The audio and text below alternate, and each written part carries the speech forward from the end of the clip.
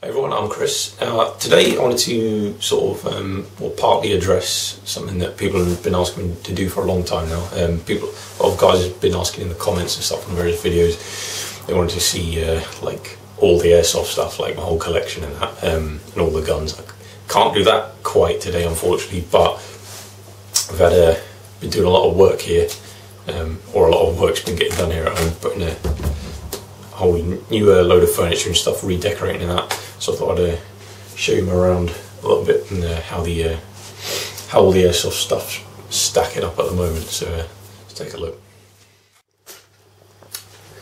Alright, so as I say, we're sort of still in the, in the middle of redecorating in the room here. As you can see, a bit of work to do. Nice old school. that was from before I joined the RAF way back. PS2.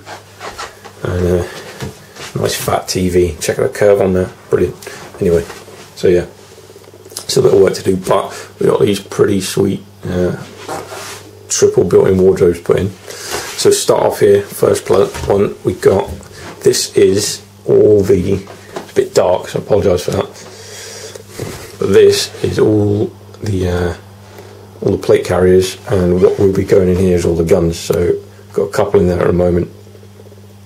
Um, just uh, waiting. I'm going to be putting some racking in all the way around, so I can stack them all up.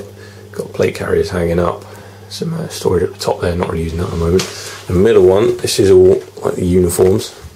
So, as you can see, just got uh, field jackets, smocks, underbody armor combat shirts. Got the uh, more standard stuff. So got the multicam, ATACs, marine issue, woodlands, CS95, old school. Some of the, some of my old replica stuff that I don't really use anymore. Um, transportation bag, uh, gun case sort of thing, Warrior. Got another one back there. It's Garda. Then we've got here. This is all the magazines. See lots of uh, lots of Magpuls. Of uh, got all my P mags, T mags, 40 mil grenades, some polymer AK magazines there. Down at the bottom to go with all the magazines, you've got all the ammo, BBs, gas. That's something. Uh, that's a little nice souvenir I got in the Falklands. Um, just my standard clothes there for when I'm just gash old stuff for when I'm working on greasy, oily guns.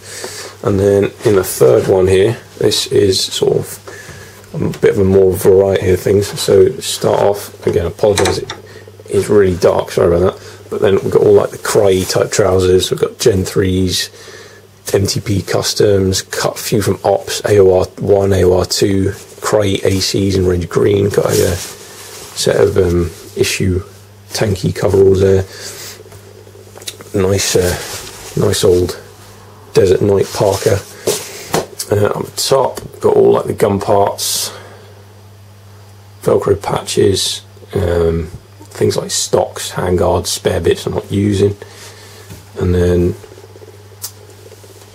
all bits of different gear, caps, uh, headgear, eye pro, slings, belts, various small parts in the drawers there, chrono gloves, um, whole load of optics on my pistols, again waiting on putting racks in for those.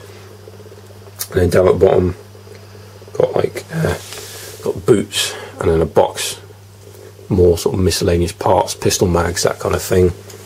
And then even right in the end there, this bit, as you can see, we had to sort of get it custom cut, and it goes into this of the cut in the wall. And I've got a little basket there that's full of like chem lights and first field dressings and stuff like that, all that kind of thing. And then batteries, CR123s, lipos, small gun bits, and then uh, about it really. Just, so yeah, um, just wanted to show you that.